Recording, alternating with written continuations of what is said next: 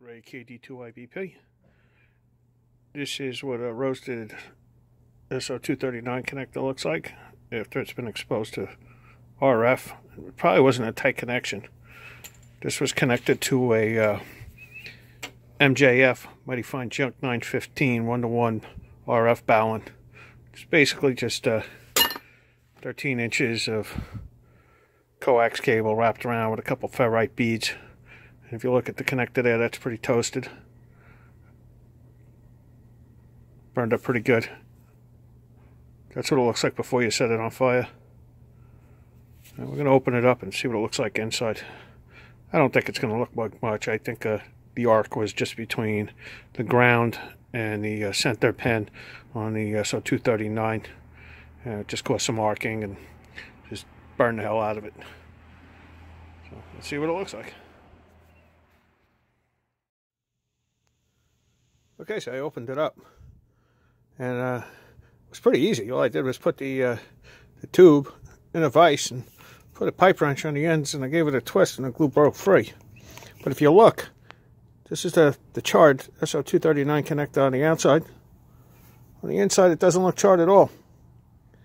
Um, so, uh, stuck, stuck my nose in there, and I didn't see anything. I'm, I'm going to just disconnect this SO239 and uh, maybe replace it. But I, I, I, think my rig is doing pretty well without this uh, RF choke. And uh, I'll tell you why a little later. But uh, let's open this up and see what it looks like with the ferrite, the ferrite beads.